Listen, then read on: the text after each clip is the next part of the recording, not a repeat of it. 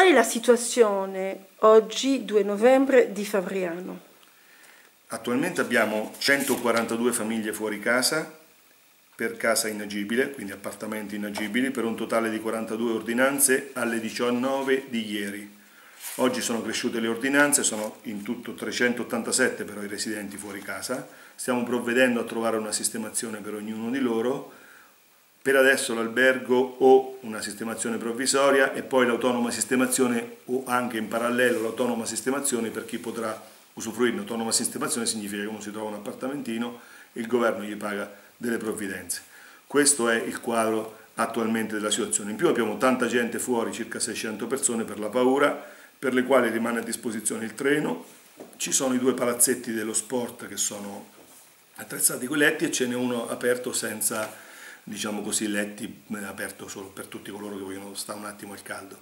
Invece abbiamo un'area di una palestra piccola è stata dedicata a coloro che sono in carrozzina, che hanno problemi di deambulazione, che pur non avendo la casa inagibile non si sentono sicuri di poter abbandonare la loro abitazione in caso di una allora, Adesso noi ripartiamo anche in una vita normale, quando riaprono le scuole? Intanto ho deciso di farle ricontrollare tutte dopo la, dopo la scossa del, ehm, dell'altro giorno, dell'altra mattina, perché ritengo che sia giusto ricontrollarle se le scosse sono piuttosto forti non abbiamo riscontrato problemi significativi, quindi né gravi, però vorrei essere sicuro sempre di ricontrollarla quando il, il sisma supera un certo limite per avere la certezza sempre dell'agibilità di tutte come ce l'ho avuta fino ad oggi. Fino ad oggi abbiamo fatto già due controlli, però adesso questa scossa mi ha rimesso un po' in agitazione come ha rimesso in agitazione i genitori e tutte le persone che vivono in città.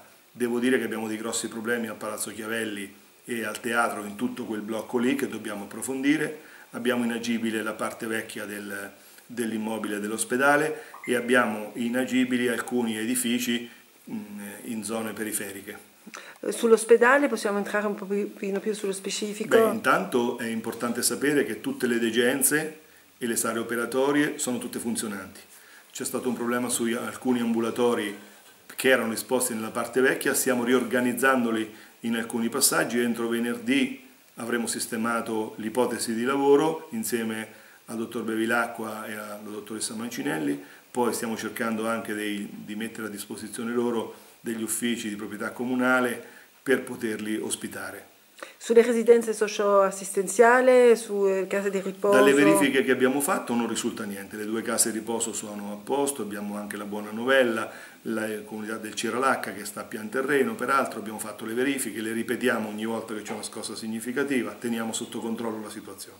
Livello... Credo che passino ora da un'idea di cratere, che era quella prima, che verrà approvata sicuramente, a, spero, io auspico, ho chiesto che vengano venga estesa l'area, ma non, non, de, non, tanto del cratere quanto dei danni, cioè che venga riconosciuto che ci sono, dove ci sono i danni causati dal sisma, questi vengano ristorati, perché questo è l'equilibrio che dobbiamo dare. Poi tutte le altre provvidenze possono essere anche date ai comuni più ristretti o a chi sarà, noi dobbiamo cercare però intanto che tutti i danni pubblici e privati al patrimonio vengano ripagati o perlomeno messi in condizione di poter essere pagati, perché la ricostruzione va fatta, non possiamo lasciare pezzi di città vuoti. Noi abbiamo un quartiere, la Spina Serraloggia, che al centro è colpito fortissimamente. È vero che fuori magari si avverte poco, ma lì abbiamo sulla eh, via, le due vie, via Petruglio, via Lo Sturzo, Fratelli Latini e Serraloggia, abbiamo un indice di danneggiamento che supererà il 70%. Quindi questo è un, è un, punto critico che secondo noi va riconosciuto. Poi abbiamo la zona rossa di Albacina, abbiamo dovuto sacrificare tutto il castello di Albacina e interdirlo all'accesso al pubblico.